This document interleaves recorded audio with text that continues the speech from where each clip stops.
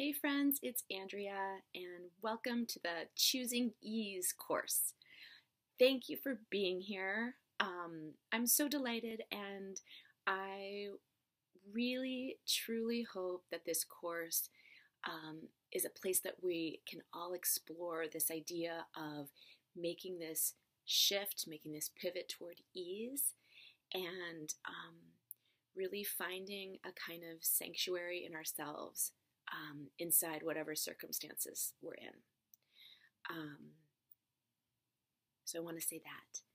And um, I want to give you an overview of the course so that you have a sense of what to expect. Um, I already outlined the course in the description that you probably read when you signed up, but um, I just kind of want to go through each piece and um, just give you a sense of where I'm coming from with each one so you know what to expect. Okay. So the first week is going to be about the mindset of ease. And this is probably the most important part. This is mostly just like a loosening up of our habitual ways of thinking and the habitual way that we create story and narrative around uh, all of our experiences, really. Um, but it's getting uh, mindful and creating consciousness around what story we're layering onto things right out of the gate. Often these stories are um, around struggle and how hard things are, or um, like in the example um, that I gave about getting the blood draw, if you read that piece, um, I, I, did a sneak preview of the course. You may have read it. Um, there's a way that I was I go in with this idea that blood draws are bad. Um, oh God, I hate this. I'm going to pass out. This is going to happen. That's going to happen. And when I could actually get present and get curious and loosen up that that habitual train of thought, there was this whole world that was available to me that was unfolding in the moment that I had access to. And without it, I would have just been sort of closed off into my my little grumpy story. So that's just one example. Um, but yeah, I think that we we have these sort of cultural beliefs about struggle being more valuable than ease, and we just want to name some of that and and shift our mindset around this whole thing. Okay. Week two, clearing space. So, uh, so I'm sure you guys have done space clearing before, or Marie Kondoing, or, whatever it is that you've tried in the past. And um, I think it is important that we do some of that. In um, in Mondo Beyondo, which was my my first e-course I taught about manifesting dreams, uh, that was one of the things that we focused on in that class as well. So when we can um, eliminate some of the noise in our life, uh, and that noise can be busyness in general, overcommitting, overdoing.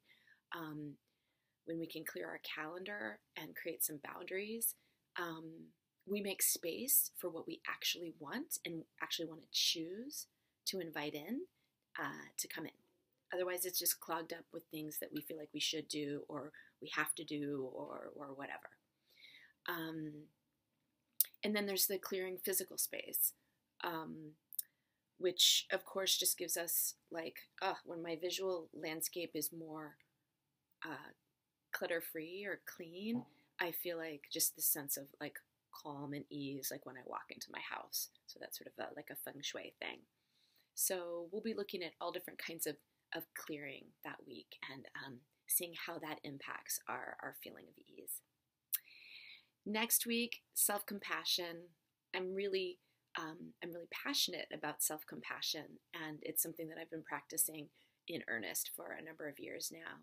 And so um, we'll talk about how um, cultivating those practices can create a lot more ease in our life when we're not adding on um, more suffering by um, uh, not being kind to ourselves. Okay. Next week is getting into alignment and flow. Okay, so this is something that I haven't really had language for until more recently.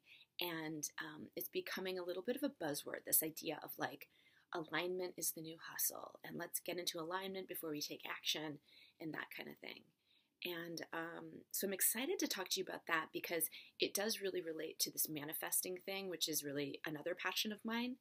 And um, and it's also about ease because I don't want to work very hard. You know, like like of course you know I show up and I do my work and all of that stuff, but I don't value working hard. I don't value struggle and I actually want flow and I want ease and I want enjoyment. And when things feel so crunchy and hard, I actually have to ask myself, like, you know, how can I make this easier? Because it's not in flow when I'm in that crunchy place.